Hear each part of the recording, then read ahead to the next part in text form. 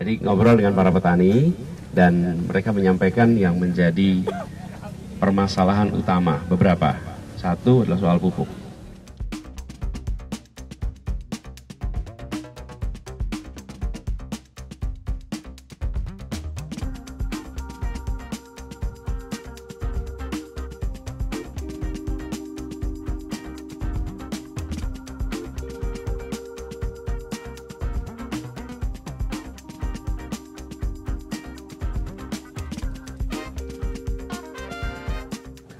Jadi ngobrol dengan para petani dan mereka menyampaikan yang menjadi permasalahan utama beberapa. Satu adalah soal pupuk.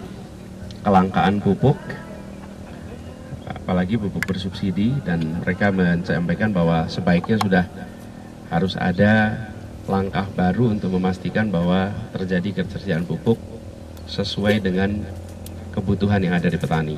Dan kebutuhannya sudah bisa diprediksi sebetulnya karena siklus produksi itu kan dari tahun ke tahun sama, dari musim ke musim sama. Tinggal suplai uh, pupuknya.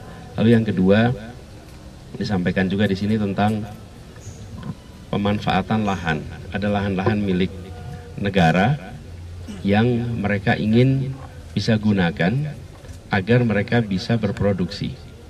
Dan mereka mengharapkan untuk diberikan kesetaraan kesempatan dengan perusahaan-perusahaan yang beroperasi di tempat ini.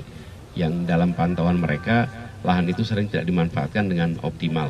Ini persoalan penting menurut kami, karena memang pada akhirnya tanah-tanah atau aset negara itu memang perlu dimanfaatkan sebanyak-banyaknya untuk kepentingan rakyat. Apalagi kalau untuk kegiatan pertanian. Kalau untuk kegiatan pertanian artinya lahan itu menjadi lahan produktif yang bisa meningkatkan pasokan pangan kita. Lalu persoalan kredit. Kredit ini tadi disampaikan sulitnya untuk mendapatkan kredit walaupun secara peraturan itu kur tidak memerlukan agunan tapi dalam pelaksanaannya mereka mengeluhkan bahwa kur itu tetap mengharuskan ada agunan dan ini kerepotan di lapangan bahkan mereka men, men, mensinyalir ada kebijakan yang meniadakan sektor pertanian di dalam pemberian kredit. Ini sinyalemen yang mereka sampaikan. Jadi kami sampaikan juga kepada mereka, prioritas kita adalah reformasi tata niaga pangan.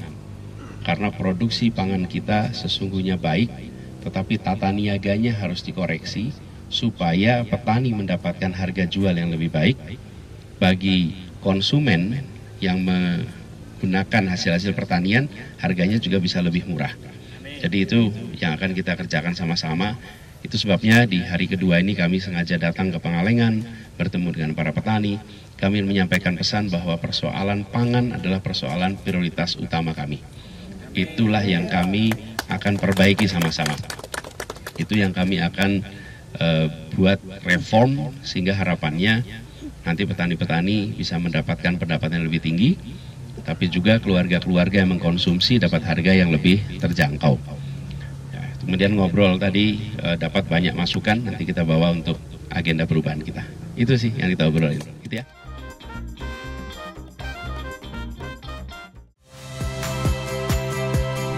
Saya Rahmat Ibrahim. Saksikan program-program Kompas TV melalui siaran digital, pay TV, dan media streaming lainnya. Kompas TV, independen, terpercaya.